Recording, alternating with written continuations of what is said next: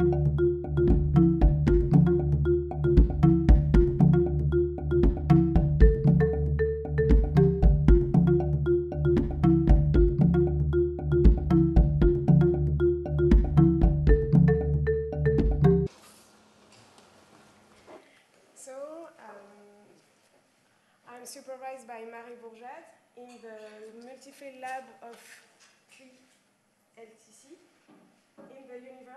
Of Toulouse-Jean Jaurès. And today I'm very pleased to be here to present you our work the, about the tactical use of multimodal communication by the six-month-old human infant.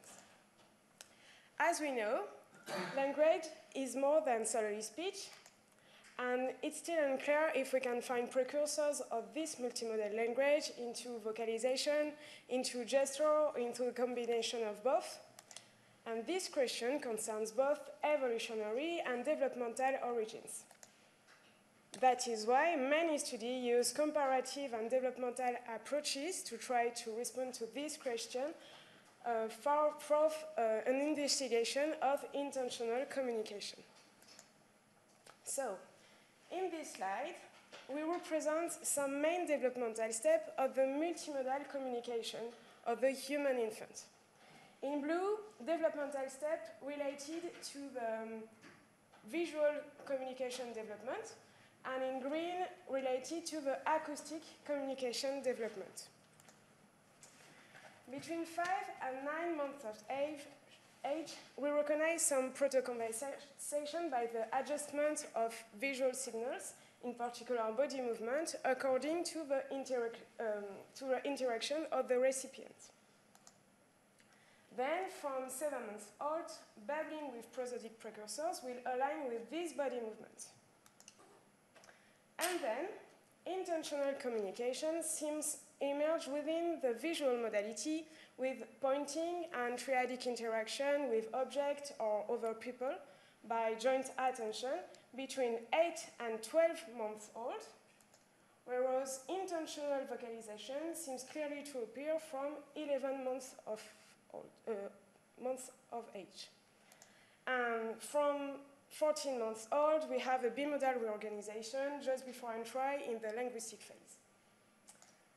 And in this study, we want to test the six-month-old human infant's ability in adjusting um, the sensory modalities of our communicative means to the mother interaction, the mother visual attention, and in a larger uh, comparative project, the maternal distance. So our question is, do the six-month-old human infant adjust their multimodal communication to the mother's interaction state that we define here by uh, maternal interaction, maternal distance, and maternal visual attention. Some, some previous study allowed us to do some prediction about data. So, for example, for interaction, we know that infants are known to engage um, early in um, proto-conversation at the end of the second month after birth, and this proto-conversation involves turn-taking. About distance, we have to refer to the Falk's hypothesis, the putting the baby down, whereby proto-language may emerge in early hominins to compensate reduced tactile contact and increase distance between the mother and the infant after bipedalism. About visual attention, we know that visual attention seems key in the process of developing tactical use of multimodal communication. And in the human infant, there are not studies on six-month-old infants, but we recognize a real effect of visual attention around one year old. So, it's uh, our predictions based on Falk's hypothesis that infant-directed communication soothe the baby and compensate reduced tactile contacts between the mother and the infant, we could expect more distal communication, both acoustic and visual, when the mother is at far distance than when she's at close distance. Then, if infants take turns with their mother um, take turns with their mother. They should um, gesture and vocalize, vocalize less when the mother is interactive than when she's not interactive. And for visual attention, if the six-month-old human infant can recognize an attentive audience and adjust to it, they produced, they should produce um, more visual signals and less acoustic signals or vocalizations uh, when the mother is visually attentive than when she's uh, not visually attentive.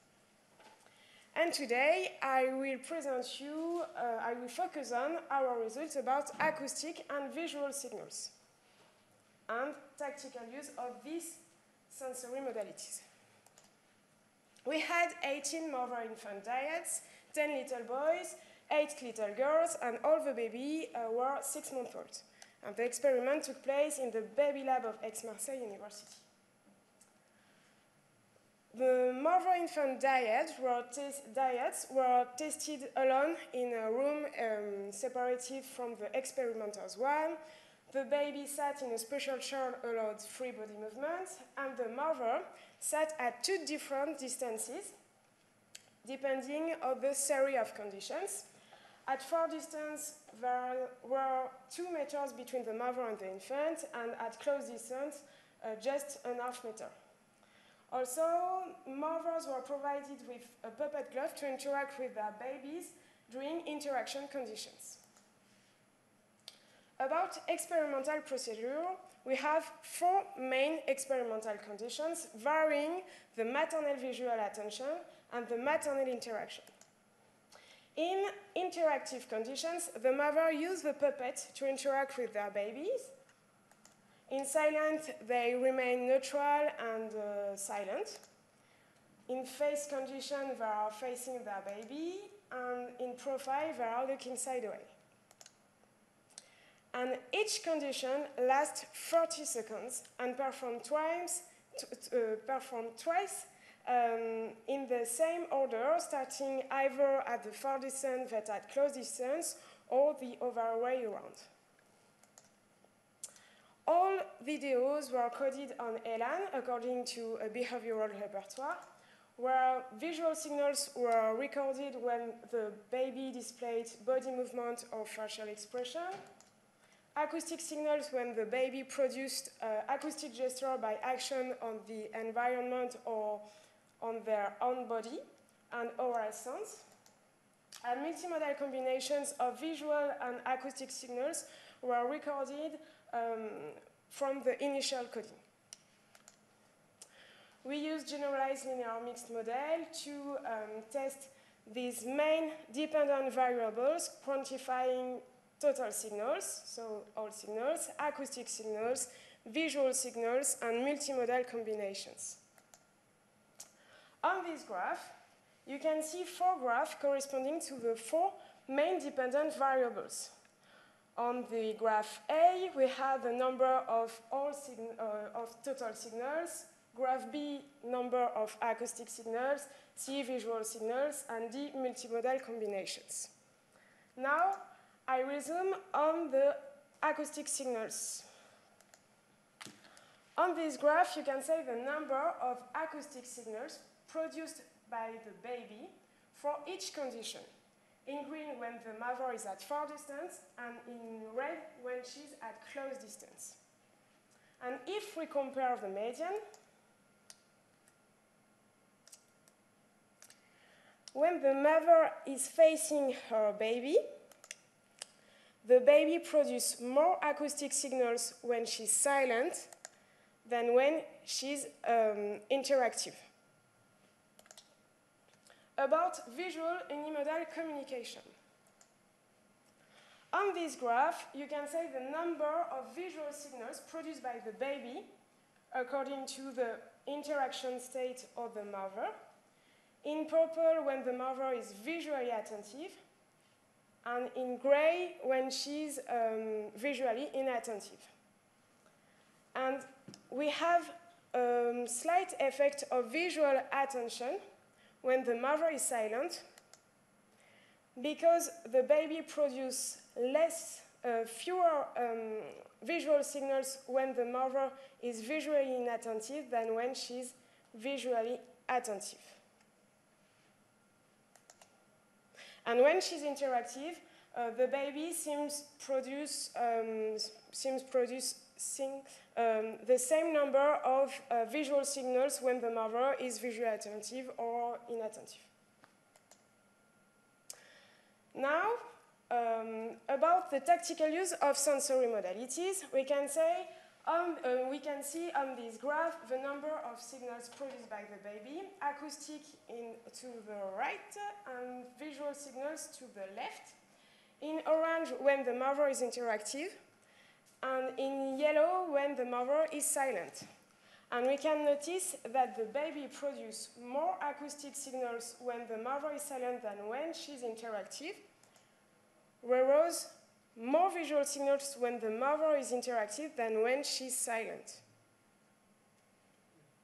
And these opposite patterns are significant.